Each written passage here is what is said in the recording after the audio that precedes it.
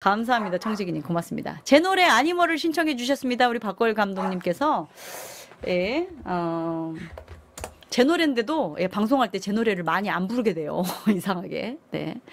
자, 제 노래 아니머 전해드리도록 하겠습니다.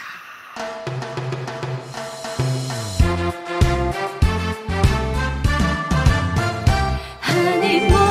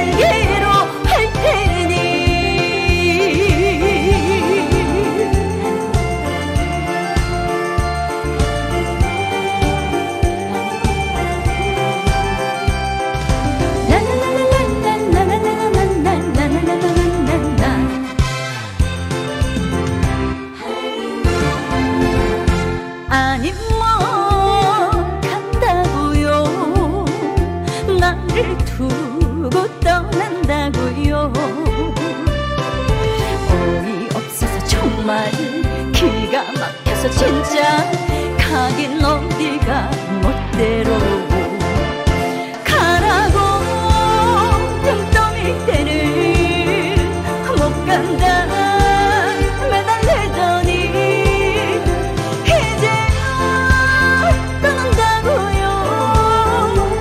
우는데도 헛웃음이 나와요. 한 발만 떼기만 해봐. 죽기 살기로 할 테니 가라고. 등 떠밀 때는 못 간다. 매달리더니 이제야 떠난다고요. 우는데도 헛웃음이 나와요.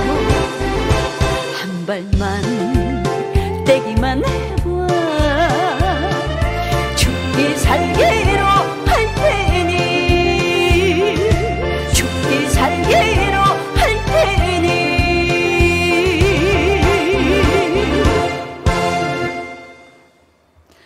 네, 제 노래 아니머를 또 신청을 해주셔가지고 또 우리 박걸 감독님께서 아니머를 또 영상을 또 이렇게 올려주셔가지고 조회수가 또 많이 나오고 했잖아요.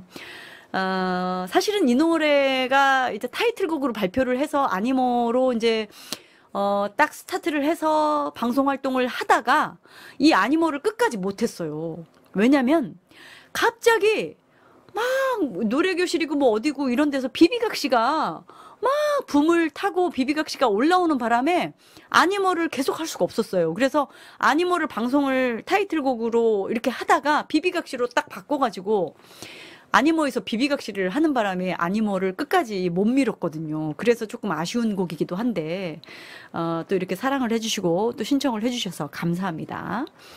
직접 노래 들으니 오늘 밤은 행복합니다. 박걸 감독님, 감사합니다. 어, JBC TV 어영무님이 오셨습니다. 안녕하세요. 반갑습니다. 어서 오세요.